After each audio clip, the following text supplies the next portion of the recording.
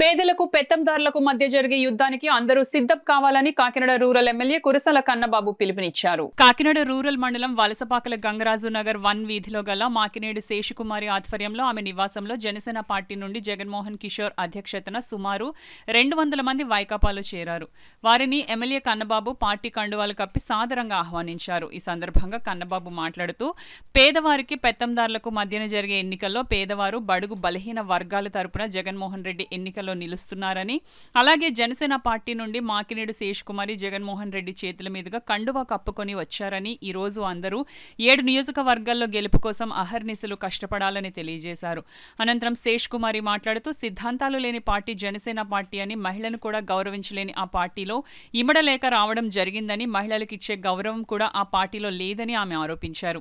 అయితే ముఖ్యమంత్రి జగన్మోహన్ రెడ్డి నన్ను ఒక సోదరిలా ఎంతో ఆప్యాయతగా పలకరించి నేనున్నానంటూ ధైర్యం చెప్పారని అదేవిధంగా మన ఎమ్మెల్యే కన్నబాబు స్త్రీలను ఎంతగానో అక్క చెల్లెళ్ళలాగా గౌరవిస్తారని ఇలాంటి పార్టీలో ఉండడం నాకు ఎంతో ఆనందంగా ఉందని కన్నబాబు గెలుపు కోసం అలాగే ఎంపీ అభ్యర్థి సునీల్ గెలుపు కోసం జగన్మోహన్ రెడ్డి ముఖ్యమంత్రిగా మరోసారి గెలుపు కోసం అహర్నిశలు కృషి చేస్తానని ఆమె తెలియజేశారు.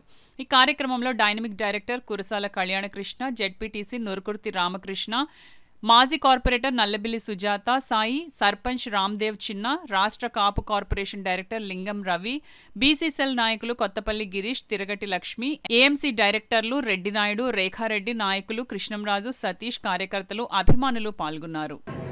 జనసేనలో పొత్తు పెట్టుకున్న ఆయన మనుషులే జనసేనలో అభ్యర్థులుగా ఉన్నారు. ఇవాళ ఆయన కుటుంబంలో ఆయన ఆయన కొడుకు ఆయన బియ్యంకుడు ఆయన వదిన గారు కొడుకు కోడలు. వీళ్ళందరూ పోటీ చేస్తున్నారు. వాళ్ళ కుటుంబంలో పోటీ చేసిన ఎవరయ్యా? చంద్రబాబు నాయుడు కుటుంబం. అంటే ఆయన కుటుంబ సభ్యులు. కానీ జగన్మోహన్ రెడ్డి గారి కుటుంబ సభ్యులు ఎవరంటే పేదలు నిరుపేదలు దళిత వర్గాలు. వారికి టికెట్లు ఇచ్చాడు ఇదే ఇద్దరికి ఉన్న తేడా. చంద్రబాబు నాయుడు ఇచ్చిన టికెట్లన్నీ ఆయన కుటుంబంలో ఉన్న ధనవంతులకి చాలా స్థిరపడ్డ వారికి అయితే ఒక ఆటో డ్రైవర్కి ఒక టిప్పర్ డ్రైవర్కి ఒక ఉపాధి హామీ కూలీకి ఒక కెమెరామన్కి కనీసం నామినేషన్ డబ్బులు కొనే వ్యక్తుల్ని ఎదురు వెతికి ఆయన టికెట్ ఇచ్చి ఇవాళ పంపిస్తా ఉన్నారంటే దాన్ని బట్టి మీకు చెప్పండి. ఎంత గట్స్ ఉన్న నాయకుడు జగన్ గారిని మీరు ఆలోచించండి.